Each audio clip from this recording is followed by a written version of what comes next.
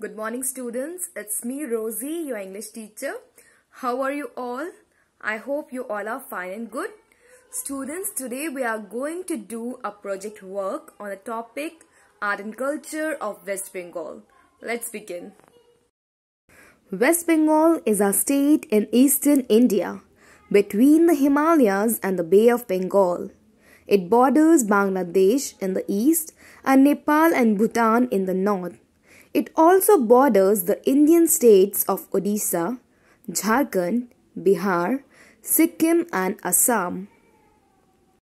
Blessed with a rich heritage and mesmerizing beauty, West Bengal has secured itself a unique place in the history of India. One of the most culturally prosperous states of India, West Bengal is filled with surprises. There is much more to West Bengal than big red bindis and dhoti kurtas.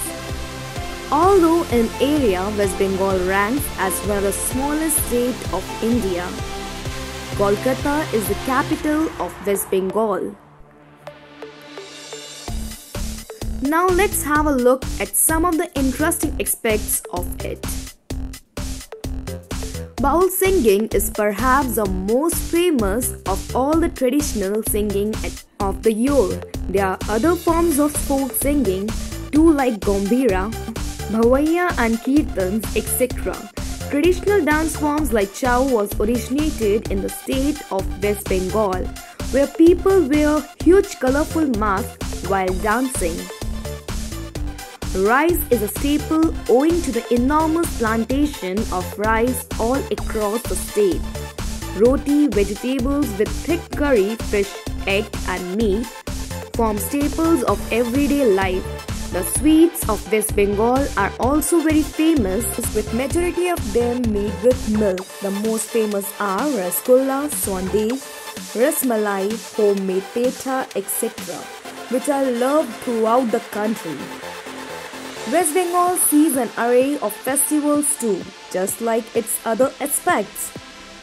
Durga Puja is a favorite festival of the region, witnessing crowd from all over the world.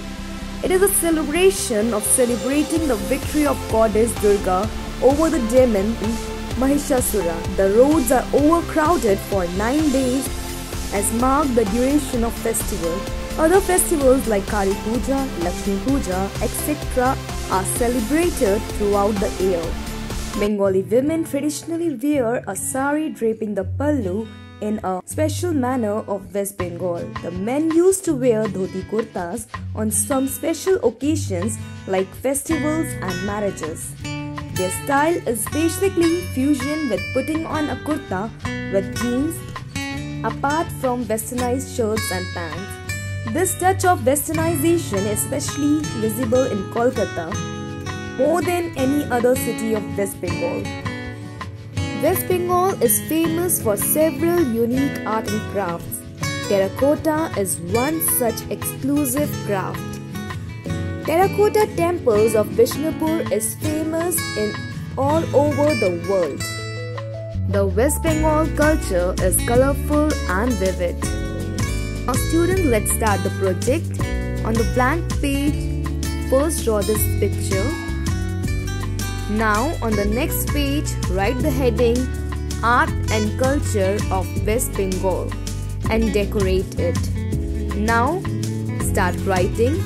West Bengal is a state in eastern India between the Himalayas and the Bay of Bengal. Kolkata is the capital of West Bengal Bengali is the main language of the state. West Bengal is blessed with rich heritage and mesmerizing beauty. Literature is an essential part of the state and its poetry has influenced people far and wide. It is famous for its terracotta temples of Bishnupur. Rice and fish are traditional food. Some of their famous cuisine are malai curry of prawn, patori, etc. The sweets of West Bengal are also very famous like rasgullas, sandesh, rasmalai are some of them. Traditional dance forms like Chau originated in West Bengal. Their traditional dress is white dhoti kurta and white sari with red border. The West Bengal culture is colorful and vivid. After this, draw blue and red line. Students, do this work very neatly as this work, project work consists of 5 marks. So, do it very neatly. Students, do you know? On Tuesday, we are going to celebrate Republic Day. On this day, Constitution of India came into force, making India Republic. Students, what is Constitution? A constitution is primarily a set of rules and principles specifying how a country should be governed, how power is distributed and controlled, and what right citizens possesses. Do you know students what republic means? Being a republic means that we can choose our own president. And do you know who framed India's constitution? Dr. Bhimrao Ambedkar started drafting the constitution and he is known as the father of Indian constitution. Believe it or not, our constitution is the longest in the whole world. Took almost 3 years to be completed. Also, do you know why we chose 26 January to celebrate our Republic Day? On this day in 1930, the Indian National Congress declared India's independence. And to honor this date, Republic Day is celebrated on 26 January every year. On Republic Day, a grand parade is organized at Rajpath in New Delhi. The parade mainly represents the diverse cultural heritage of our country and also the competency of Indian military.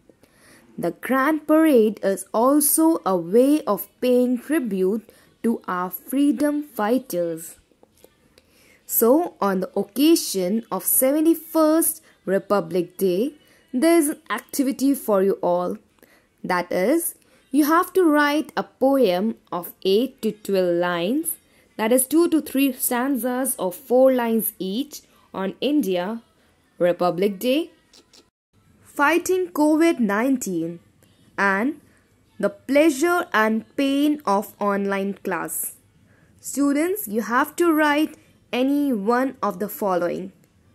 The best poems will be awarded with certificates. So do your best and last date for the submission of this poem is 28. That's all for today. Thank you students. Vande Mataram